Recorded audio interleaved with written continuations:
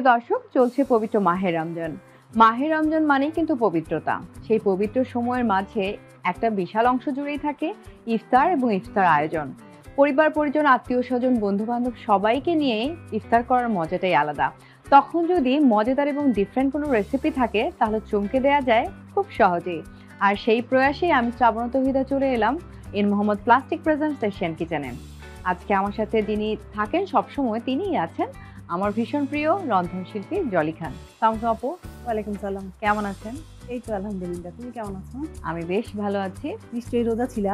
হ্যাঁ রোজা তো সবসময় রাখি আজকেও আছি সবসময় থাকি। আজকে খুব ফ্রেশ লাগছে। ফ্রেশ লাগছে? একদম। আসলে হয় কি রোজা তো রাখা হয়ই কিন্তু আমি এমনিতেও অন্য সময়ও ইন্টারমিডিয়েন্ট ফাস্টিং এ থাকি তো ওটাও কিন্তু রোজার মতোই একটা মানে ওই লাইফস্টাইলটা মেনটেন করি আমি। আচ্ছা। তাই রোজা যখন রাখি তখন আমার খুব একটা চেহারা চেঞ্জ আসে না।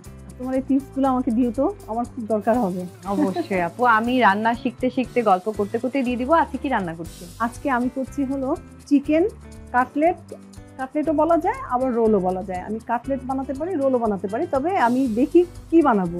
Cutlet Okay. না রোল কিন্তু প্রসেস একই। প্রসেসটা একই তাহলে একই। আমি চাইব আপনি কাটলেট বানান কারণ আচ্ছা, ঠিক কাটলেটটা আছে। দেখতে আমার অনেক মজা লাগে। আচ্ছা ঠিক আছে তাহলে কাটলেটই করি হ্যাঁ? ওকে আর চিকেন কাটলেট করতে আমার যা যা লাগছে লাগছে চিকেন কিমা এখানে চিকেন কেমা নিয়েছি? এক কাপ নিয়েছি আলু ম্যাশ দুটো আলু সিদ্ধ করে নিয়েছি ডিম দুটো ডিম লাগবে। আর এখানে আদা পেস্ট আছে ব্রেড ক্রাম আছে এখানে ময়দা লবণ টমেটো সস এখানে জিরা গুঁড়ো ভাজা জিরা আর কি। তেলে নিয়েছিলাম আর মরিচের গুঁড়ো আর চিলি ফ্লেক্স আর পেঁয়াজ কাঁচা মরিচ দিব হ্যাঁ কুচি আচ্ছা। করে। প্রথমে আমি চিকেনটা চিকেন কিমাগুলো নিয়ে নিচ্ছি। আগে সব কিছু দিয়ে মাখিয়ে নিব আর কি। তারপরে দিব আলু ম্যাশ। এটাও বাচ্চাদের ভীষণ প্রিয় একটা খাবার। মানে হ্যাঁ। চিকেন কাটলেট শুনে না আমারই ছেলেবেলার কথা মনে পড়ে গেল। যেমন? মানে চিকেন কাটলেট তো ছোটবেলায় খেতাম বেশি। হুম। তো চিকেন কাটলেট মানে কাটলেট শেপটা ব্রাউন কালার ক্রিস্পি চিকেন খুব ভালো লাগে আসলে খুবই ভালো লাগে। জিরা গুঁড়ো দিচ্ছি হাফ টি স্পুন মরিচের গুঁড়ো দিচ্ছি। সামান্য একটু। আর যেহেতু চিলি ফ্লেক্স দিব চিলি ফ্লেক্স দিচ্ছি হাফ টি স্পুন তারপর এখানে একটু আদা পেস্ট দিব। আদা আদা। পেস্ট দেব আর আদা রসুন দুইটা পেস্ট করা। এখানে হাফ টি স্পুন দিয়ে দিলাম। লবণটা দিব। হাফ টি স্পুনের মতো দিয়ে দিলাম। আর এখানে পেঁয়াজটা পেঁয়াজ আমি একটু কুচি করে দিচ্ছি তুমি একটা কাজ করো না আমার চুলাটা ধরিয়ে দাও। অবশ্যই। এটা কি ডুবো তেলে ভাজবো?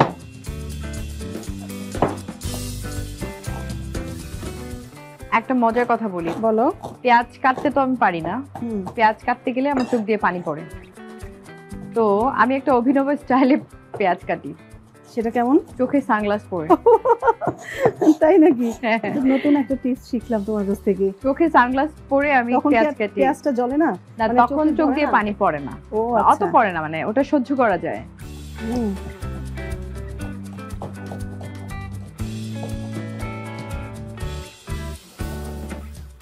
কাঁচামরিচ কুচি দিয়ে দিলাম। এক টেবিল চামচ পরিমাণ একটা বড় সাইজের আর কি কাঁচামরিচ। এখানে একটু ধনে পাতা দিব। এগুলি সব টেস্টের জন্য ধনে পাতাটা একদম টেস্টের জন্য আমরা দিয়ে থাকি আর ফ্লেভারের জন্য কারণ চিকেনের মধ্যে ধনে পাতা দিলে একটু ভালো লাগবে অনেক ভালো লাগবে আর কি। দিয়ে দিলাম ধনে পাতা। আর আমি একটু গরম মশলার গুঁড়া দিচ্ছি হুম ওকে হাফ স্পুন গরম মশলার গুঁড়া দিয়ে দিই এখন আমি একটু ভালো করে মেখে নিব তবে এর সাথে আমি একটু ব্রেড ক্রাম এবং ময়দাও দিব সাথে। আমি সেটাই চিন্তা করছি যে বাইন্ডার হিসেবে কি অ্যাড করা হচ্ছে এখানে? আমি একটু ব্রেড ক্রাম এবং ময়দাটা দিব। তুমি আমাকে একটু বড় একটা স্পুন দাও। এই যে একটু দিয়ে দাও। কতটুকু দিব? দুই টেবিল চামচ পরিমাণ দাও। ময়দা? ময়দা। আর এখান থেকে ব্রেড ক্রাম দাও দুই টেবিল স্পুন দুই টেবিল চামচ পরিমাণ। হুম ঠিক আছে।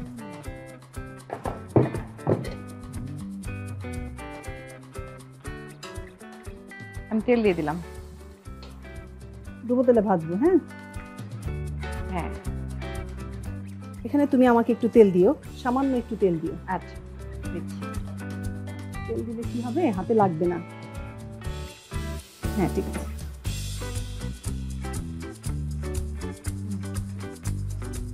এখানে দুটো ডিম নিব।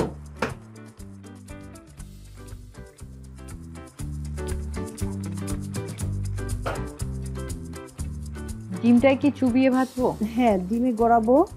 আমি এগুলা একটু এক সাইড করে রেখে দিই। সাইড করে রেখে দিলে আমার কাজ করতে সুবিধা হবে। রাইট আপনি সবসময় এরকম গুছিয়েই কাজ করেন। আর গুছানো কাজ করা মানেই কিন্তু তাড়াতাড়ি কাজ হওয়া হ্যাঁ কাঁটা চামচ দাও একটা। অথবা এই হুইপসটা দাও। হ্যাঁ এটা দাও।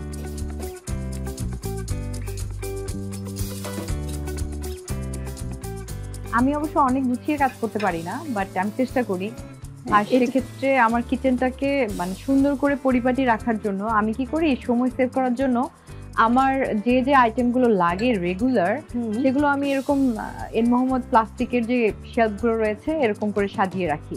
আচ্ছা। তো আমার তাড়াতাড়ি পেতে সুবিধা হয় রাখতে সুবিধা হয়। হাতের কাছে সব পাওয়া যায় না?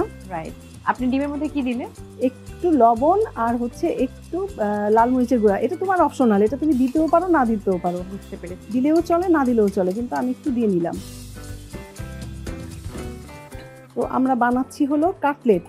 চিকেন কাটলেট কাটলেট তো আমি আজকে যে শেফটাতে করব হ্যাঁ সেটা হচ্ছে ওইটার সাথেই তো বললাম যে কাটলেট বলতে আমি এই শেপটাকেই বুঝি। হ্যাঁ কাটলেট এখন অনেকে কাটলেটটা কি করে একটু লম্বা করে হ্যাঁ। এটাও করে মানে আচ্ছা। স্কোয়ার করে লম্বা করে কাটে তবে আমার কাছে এই কাটলেটটাই ভালো লাগে। রাইট এবং আমি ছোটবেলায় একটা মজার স্টোরি বলি।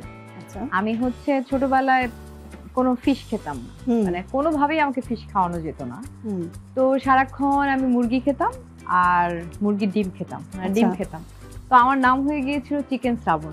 আমার মনে হয় কি প্রত্যেকটা বাচ্চাই চিকেনটা বেশি পছন্দ করে ফিশটা পছন্দ করে না? একদমই না। একদমই না। তো তুমি চিকেন কাটলেট তো নিশ্চয়ই পারো। আমার কাছে মনে হয় তুমি চিকেন কাটলেটটা পারো। আমি যে প্রসেসে করলাম সেটা কি তুমি করছ কখনো? আহ, আমি অলমোস্ট এরকম করেই বানাই চিকেন কাটলেটটা।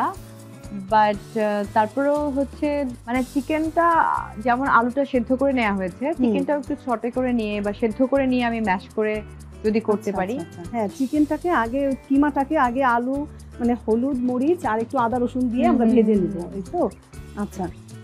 বাট এটা করলেও হয় কারণ এটা আমি ডুবোর তেলে ভাজবো তো চিকেন তো খুব দ্রুত সেদ্ধ হয়ে যায়। হ্যাঁ এখন আমার প্রত্যেকটা এই করা শেষ কাটলেটগুলো হয়ে গেল। এখন আমরা ভাজবো। হ্যাঁ ভাজার আগে আমি আমি একটু ছোট্ট ব্রেক নিতে চাই। হ্যাঁ অবশ্যই। দর্শক দেখছিলেন চিকেন কাটলেট আমাদের বানানো এবং নিশ্চয়ই ভালো লাগছে।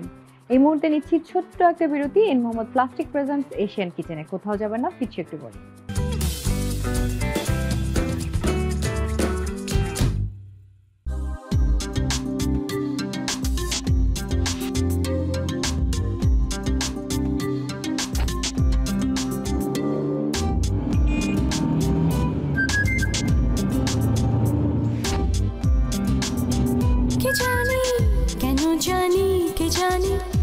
কখন জানি কে জানি দিল মনের কোণে হাতছানি কেন জানি কি জানি হুম হুম হুম হুম হুম হুম হুম। the style icon of the year. Finally, the award goes to Asian Textile.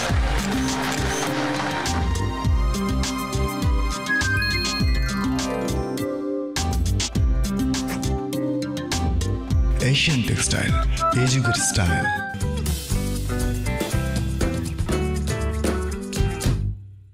Once again, welcome back. This is me, Strabonu Tohida in Asian Television in Mohammed Plastic Presents Asian Kitchen এ সবাইকে আরও একবার welcome এবং আমরা করছিলাম chicken cutlet আমার সাথে আছেন জলি খান আপু আমরা এখন তাহলে ভাজার যে প্রক্রিয়াটা সেখানে যাই।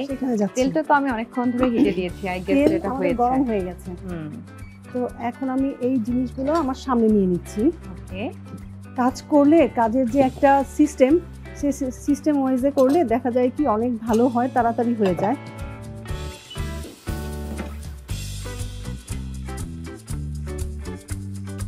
প্রথমে ময়দায় কোট করে নিলে কি হবে?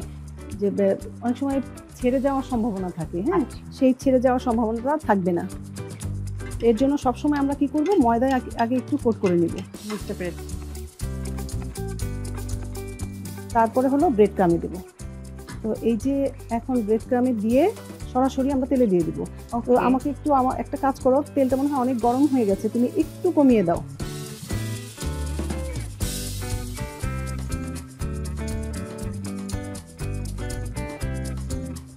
আমরা যখন মানে ছোট ছিলাম তখনকার রমজান মাসের স্মৃতি অনেক বেশি মনে পড়ে।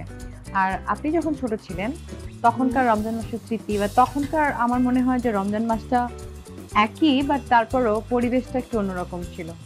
হ্যাঁ তো আমি যখন ছোট ছিলাম তখন আমার আমি আসলে ছোটবেলা থেকে নানুর বাড়িতে থাকছি বুঝছ?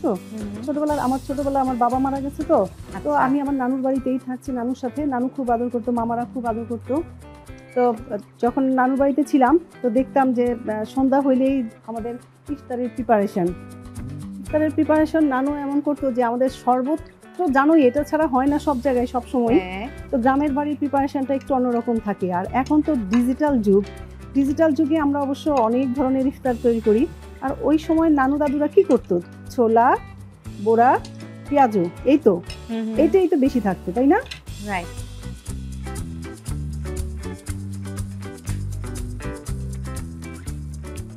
তবে রমজান মাস আসলে বোঝা যায় যে একটা মুসলিম কান্ট্রিতে এটা রমজান মাস। কারণ আহ, বিকেল বেলা থেকে দুপুর বেলা থেকে ইনফ্যাক্ট ইফতারের কিন্তু প্রিপারেশন প্রত্যেকটা বাসায় চলতে থাকে। মানে তখন বোঝা যাচ্ছে যে ছোলা বুট এগুলো ভাজা হচ্ছে হ্যাঁ। পেঁয়াজুর গন্ধ। সকাল টাইমটা কি করি আমরা? এবাদত করি তাই না? হ্যাঁ। এই যে গুসল টুসল করে নামাজ পড়ি কোরআন শরীফ পড়ি যার যতটুকু করার সেটুকু করি করার পরে আমরা সবাই দুইটার পর থেকে নামাজ পড়ার পর থেকে আমরা সবাই কি করা ওটা তো আমি ধরেন ইফতারের কথা বললাম বা দুপুরের পরে। কিন্তু ইভেন দো ইফতারের সময় তো আজান প্লাস ইফতারে তো চলেই আমার কাছে আরও একটা জিনিস আমি ফিল করি আমি জানি না আপনি ফিল করেছেন কিনা। যখন সেহরির সময়টা হ্যাঁ। ওই সময়টা আমার কাছে কেন জানি মনে হয় যে চারপাশটা এত পবিত্র একটা অন্যরকম একটা নিস্তব্ধতা একটা কাজ করে। আসলে কি ভোরবেলা তো একদম ভোরবেলা একদম পাখি কোলাহল নাই কোনো আওয়াজ নাই মানুষের কোলাহল একদম মুক্ত হ্যাঁ? আর ফ্রেশ একটা বাতাস থাকে। তো ওই সময়টা যখন দেখবা যে ভোরবেলার আজানটা কিন্তু খুব ভালো লাগে। আর ওই যে আগে মনে হয় বেশি হতো এখন তারপরে হয় যে প্রত্যেক বাসা বাসায় গিয়ে ডাকা সবাইকে। উঠানো। এখন এটা খুব কম হয়। কম হয় কিন্তু তারপরে অনেক এলাকায় কিন্তু হচ্ছে ঢাকাতেও। আমাদের আমি ছোটবেলায় দেখেছি যে আমার নানুর বাড়িতে যখন থাকতাম ভোরবেলায় ওই দল ধরে ডাকতে হ্যাঁ, হ্যাঁ, হ্যাঁ। উঠেন উঠেন সেহেরির সময় হয়েছে। তো এমন করে বলতো ওই জিনিসটা খুব মিস করি এখন। আমার মনে হয় কিছুটা হয়ে গেছে হ্যাঁ। হ্যাঁ। তো আমি এখন নামিয়ে নেব। আমি এই জায়গাটা একটু ক্লিন করে নেই। তো এই যে এটা তো মনে হয় হয়ে গিয়েছে না? গোল্ডেন ব্রাউন কালার এটা হয়ে গেছে। আমি একটু এখন একটু বাড়িয়ে দেবো। দাও ওই এটা দাও।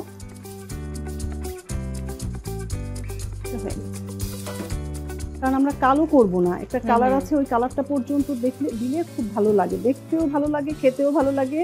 একদম ক্রিস্পি উপরটা থাকবে একদম ক্রিস্পি নিচেরটা থাকবে সফট আর এটা তোমার সস দিয়ে খেতে খুব মজা লাগে। খুব মজা। তুমি একটু কাজ করো আমি একটু ডেকোরেশনের প্লেটটা হ্যাঁ, নিয়ে হ্যাঁ, আসি। তুমি দেখবে যেটা হয়ে গেছে সেটা তুলে ফেলবে হ্যাঁ? আমি একটু আমি তো এই কাজটা করতে খুব ভালোবাসি। সবকিছু আপনি করবেন হ্যাঁ। ক্রেডিটটা আমি নিব। ক্রেডিটটা তুমি নেবা। আর ছোট চেরি টমেটো আছে। চেরি টমেটো দিয়ে আমি একটু সাজিয়ে দেব। তুমি ওটা তুলো।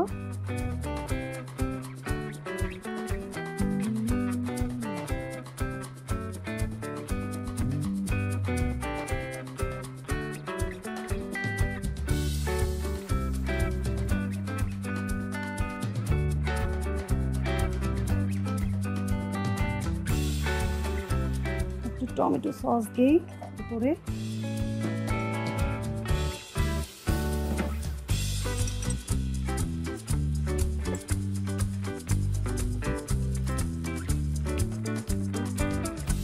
ব্যাস, হয়ে গেল আমার chicken cutlet. Wow thank you thank you so much কত সিম্পল ওয়েতে এত সুন্দর করে আপনি ডেকোরেট করলেন। দর্শক দেখতে পাচ্ছেন চিকেন কাটলেট তো এরকম করে যদি কেউ সামনে এনে দেয় না খেয়ে কি পারা যায়? বাট এই মুহূর্তে আমার খেতে ভীষণ ইচ্ছে করলেও ইফতার পর্যন্ত আমাকে অপেক্ষা করতেই হচ্ছে। আর অবশ্যই আপু আপনাকে থ্যাংক ইউ দিতে চাই। চিকেন কাটলেট আমার খুব ফেভারেট এটা করে আচ্ছা। দেখানোর জন্য। তাহলে তোমার আর আমার রেসিপি কিন্তু একই হয়ে গেল আজকে তাই না? তুমি আমাকে অনেক হেল্প করেছ তোমাকে অনেক অনেক ধন্যবাদ। দর্শক আপনাদেরকে অনেক অনেক ধন্যবাদ দিতে চাই। আর আপনাদের ভালোবাসায় কিন্তু আমরা চলে আসি প্রত্যেক দিন মজাদার এবং ডিফারেন্ট রেসিপি নিয়ে। আগামীকালও চলে আসব। অনেক অনেক ভালো থাকবেন সুস্থ থাকবেন। N Mohammad plastic presents Asian কিচেনে